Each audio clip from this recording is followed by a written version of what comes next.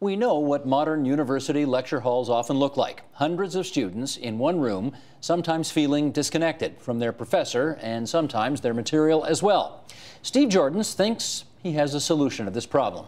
Let's find out what it is. Here he is, Steve Joordens, professor of psychology on the University of Toronto's Scarborough campus. We welcome you back to TVO. Thank you. It's great to be back. Some people who've got really good memories will remember that you uh, partook in the Best Lecturer competition from a few years ago. I did. And yes. I, uh, I, how'd you do, incidentally? Always a bridesmaid. Always a bridesmaid. no, I, th I, think I finished second twice, top 20 once, and top 30 once. So. Silver medal is absolutely acceptable. Absolutely. Yeah. okay, and Stephen, just before we get started with our interview, I do want to play some tape off the top. This is you from the 2010 Best Lecturer competition showing everybody what it is that you do. Roll tape, please. So students in our class uh, originally submit an assignment as they would in, in, many other cases, but then they log back onto the system. And what we're showing you here is when they do so, they see their uh, assignment up top, and then they see below that six anonymously presented assignments uh, written by their peers. And so what we ask them to do is to read through those, kind of think of which one they feel is better than, than another, so rank order them in their mind, uh, and then translate that into both a rating of the quality of the piece, something positive about the piece, and something that could have been done better. Okay, that's the video evidence. Just give us the uh, the general introduc introductory lay of the land of what you were trying to achieve with that. Sure. Uh, when I inherited that class, it was one of those huge lecture halls you're talking about. At, at that point in time, I think it was about 1,200 students um, that we teach using what's called a blended learning strategy. So I'm videotaped as I teach. Students either come to class or they watch online. So a very big classroom. And uh, at that time, it was assessed 100% multiple choice. And that was really the thing that bothered me because it, it, gave the impression to students that university was about memorization. Hmm. And although I research memory, I don't think that's all there is to the world. Uh, and so I really wanted them to be writing and thinking and being critical and learning to provide feedback to peers, receive feedback, react appropriately. So that's really what Peer Scholar was designed to do, to go into this large lecture hall and use the community that I had to try to enrich the learning experience any way I could. At 1200 is completely unsatisfactory, I guess, right? It's, it's 1900 now.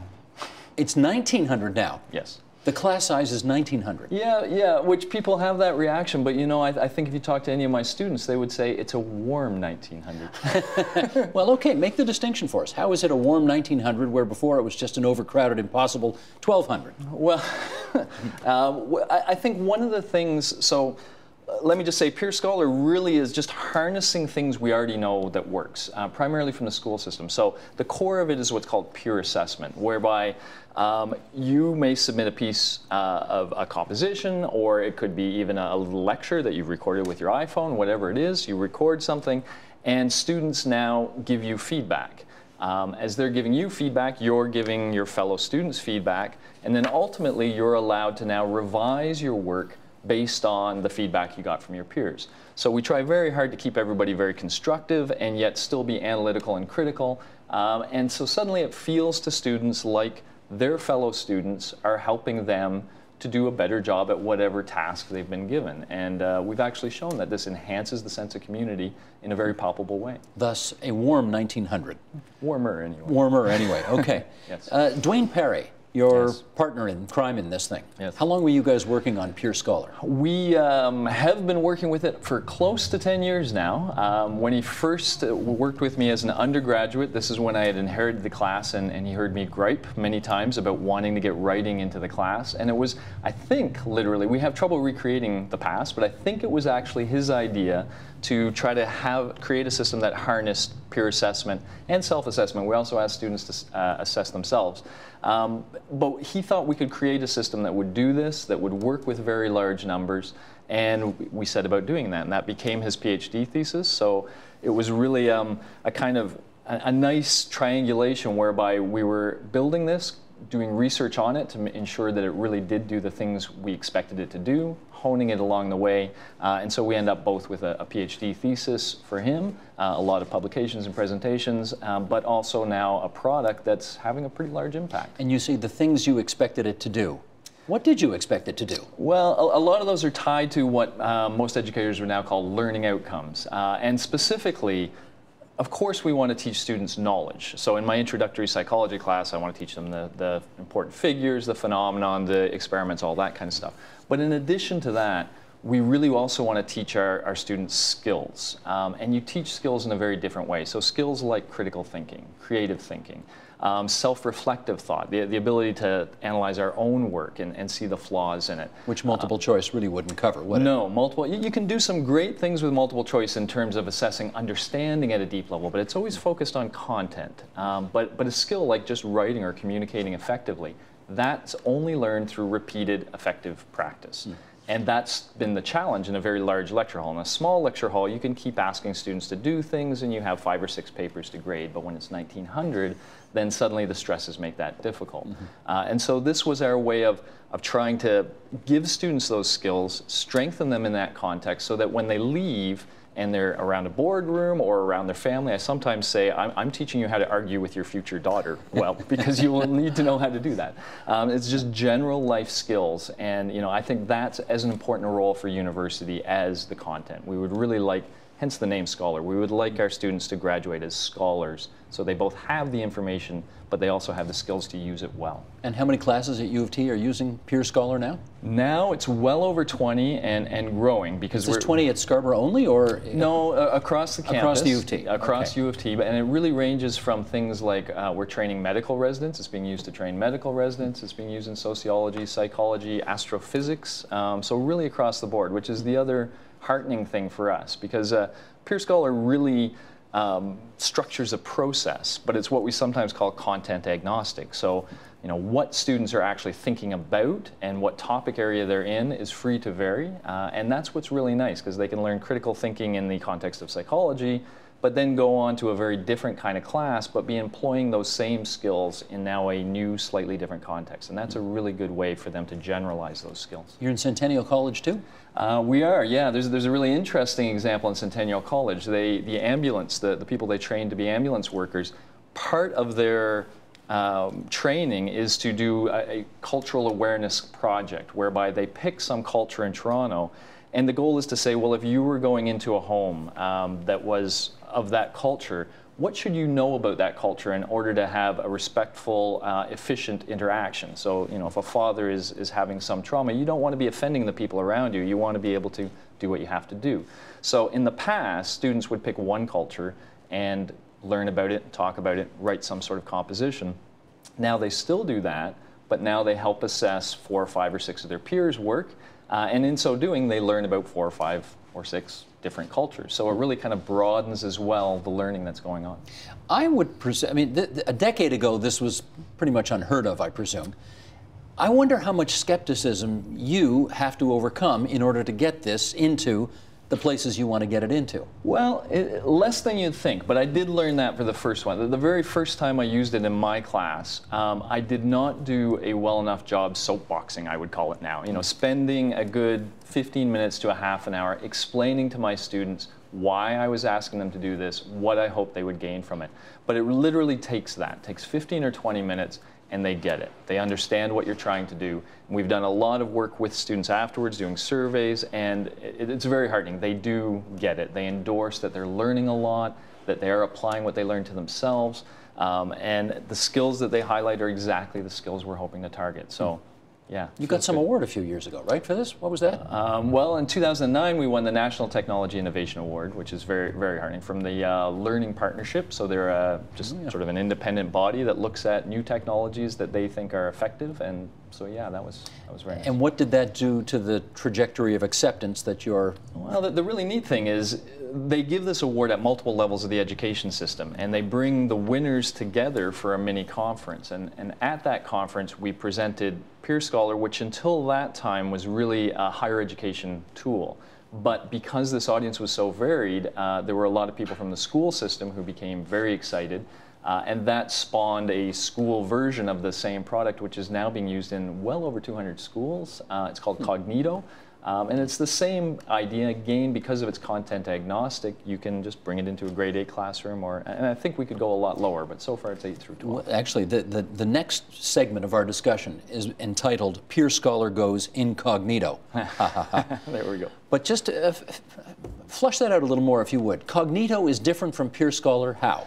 Well, you know, in many ways, it's not, it's not very different. It's the same core process of having students, and, and, let me highlight this because I think it's a very important point. We have a class full of students that we ask to do some, some project. In the traditional approach, a typical student knows their own work, and eventually they see their own work back with a grade. But there's this wealth of other work that could give a much more palpable signal to the students than their grade. If, if I submit something and I see what five of my peers did, and they're all doing much better than I am, I can feel that. I don't need a C or I don't need a D. I can actually feel like these guys are doing better. So that palpable understanding of, of how you're doing and how your progress is relative to your peers is something that can help at, at every, every level. We actually hope to kind of push it even down further to grade one or grade two, we have this notion of something called peeraboo in our mind. What? Say it again. Peeraboo. Peeraboo? How are you spelling that? Well, it's, it's like peekaboo, but P-E-R. Um, so, so the same idea that even, you know, for example, a young child could be asked to draw a picture of their teacher, and it could be stick man figures, could be anything, but they could now look at how their peers are doing, and again be exercising critical thought. Why is that one better? What's that person doing that I'm not doing? It's a much more experiential form of learning, much more palpable form of learning, and it kind of takes the emphasis off the marks a little bit more and puts it back on the quality of the hmm. work. Hmm. Maybe you could help us understand this, because I know a number of years ago I, I, did a story on something called License to Learn, which was a peer tutoring organization. Ah, There's something about the peer-to-peer -peer relationship that is different from the teacher to student relationship, yeah. which you would think would be the best relationship in terms of learning, that can be superior, the, the yeah. peer-to-peer relationship. Yeah. Well, what is that? I think I'd equate that to, you know, learning from your older brother versus learning from your father. If, somehow if the separation gets far enough, you can very, I think Mark Twain said something like when he was 14, his father seemed to be a very ignorant man that he didn't want to be around. But by the time he was 21, it was amazing how much his father had learned. Um, so literally, yeah. I think there's that perception that, that if there's enough of a gap, then the person really has to work hard to, to get across that gap. Whereas somebody who's been where you are just a year or two ahead, you know, that person, you can, you can take their knowledge more Speaks the same language in some respects, I guess. Speaks the same language, lived in the same world. You, you don't get the sense that the, the rules of that person may not apply anymore. You, hmm. you get the sense that they do.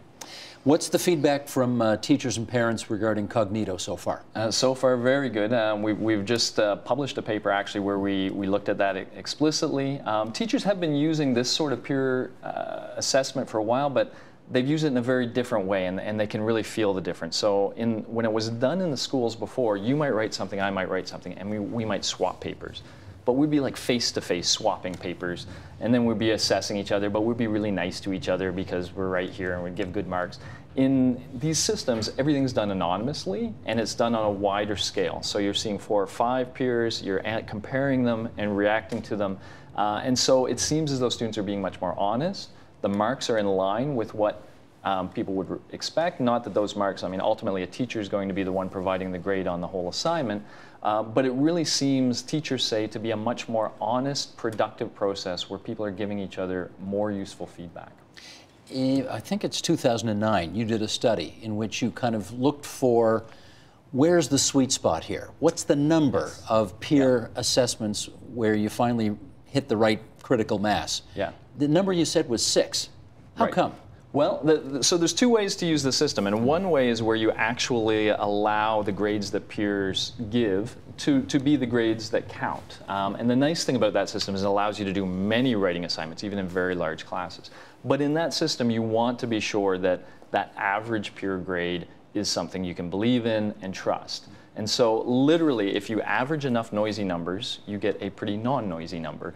But the question is always how many. And so we compared directly, um, let me say it this way. If you looked at how, how well one peer predicted another peer's grade, they weren't very good, about 0.2. Where if, if you looked at graduate students, if a graduate student graded a piece, how much did that agree with another graduate student? They were around 0.5 on this scale that goes from zero to one. Hmm. So graduate students know more than undergraduates, which is good. Yeah. But if you averaged five or six um, undergraduates and then correlated them with a graduate student, they were just as good as another graduate student. So hmm. it was literally once you got to that around that five or six number, uh, the average of those five or six grades seems to be as reliable and as accurate as the as the number from a single teaching assistant. Do you know why? Well, I mean, just, that's just a general truth about um, numbers. So if we had one of those bowls of candy um, gumballs mm-hmm. and they said how many are in there and we, we could each guess and we'd be off if we asked 50 people to guess and we looked at the average that average would tend to be really accurate hmm. it's just a statistical uh, fact as Cronkite would say that's, that's the way it is that's the way it is okay yes. what kind of student describe the student to me gets the yeah. most out of this kind of thing well, the one that gets the most is the one that A wants to, uh, which is always true. So somebody who's very open to the feedback um, and, and looking at it uh, in a very honest way. But generally, it's the students on the on the sort of lower end of the spectrum. Uh, if I kind of reverse the question and said which students are perhaps finding it least interesting or least uh, impactful, it's the very high end ones because they're not get, they're not learning as much from the feedback. They're already very high performing, so they feel a little bit more like they are helping their peers. Um, but for the most part, they're very comfortable with that too, and they are still getting the signal that yeah, I'm doing pretty well relative to my peers. But anybody who's not at that highest level will tend to get something out of the out of the process, and the, the kind of lower down they are, the more they get out of the process. Hmm. As long as they they keep their ears open and, and their mind open. Can you cheat? Well, I mean, as much as you can cheat on, I guess, any essay, although I almost want to take that back. So, one of the aspects of uh, that we suggest with this program is that rather than having a long, drawn out essay, you ask students to create a very idiosyncratic argument about some topic. Um, and, and, I will constantly change these topics. So, as one example, when gang violence was a big issue in Toronto, uh, I said, You're in introductory psychology. Uh, if you had to make a suggestion to the mayor about something that wasn't just take the guns off the street or longer prison terms, something a little more complex and interesting than that from what you learned, what would you suggest and why would you suggest it? So within Peer Scholar, we ultimately want them to create short, efficient, powerful pieces. And I like arguments because they exercise critical thought. Um, so in that way, I mean, you can always get somebody else to write your paper for you. Uh, and this does not get around that, but you know, neither does a traditional essay. Right. But beyond that, by choosing topics that are much more idiosyncratic and much more related to the context and the times, I try to make that, I, I try to make it so they can at least grab something that's already pre-made uh, online. One of the things we're learning, we're doing this Learning 2030 series here. Yeah. Uh, learning to the year 2030, we're discovering that it's fantastic. That you, well, pre- appreciate hearing that. the role of the teacher is changing from one of authority who knows everything, stands yeah. on a mountaintop and you know dispenses wisdom, yeah. to kind of facilitator of students making their own way, learning it their own way. It is, yeah. Uh, does this do that too? Yeah, that, that's certainly the goal. The goal is much more on developing cognitive skills, uh, de developing that, that keen eye, because as we like to say now, it used to be that the professor was almost the curator of knowledge. They had mm -hmm. read this vast literature, they boiled it down to the critical stuff that they were presenting the student.